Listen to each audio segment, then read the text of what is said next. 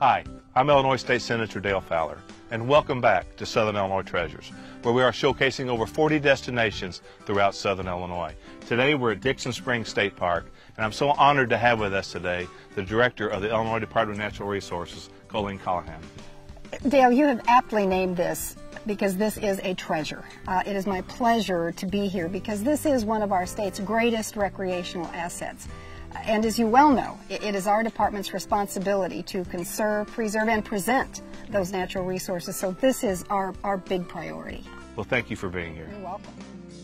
Formerly the home of the Algonquin Native American tribe, Dixon Springs State Park was once known as the Great Medicine Waters. With an assortment of rushing falls and serene creeks, the land certainly lives up to its name. The park is a must-see when visiting Southern Illinois. The landscape presents many beautiful places for a picnic after a day spent hiking. Walk the one mile trail through Ghost Dance Canyon or the 1.7 mile nature trail and you will quickly see why Dixon Springs State Park is one of the treasures of our state park system.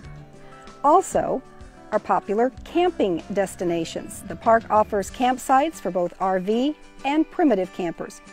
With recent renovations to the swimming pool and restroom facilities, the park has welcomed many new families and guests from across southern Illinois and the Midwest this year.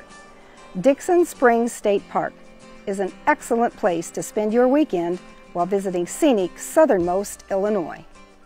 Director, thank you so much for being here today at beautiful Dixon Springs State Park. My pleasure. Thank you.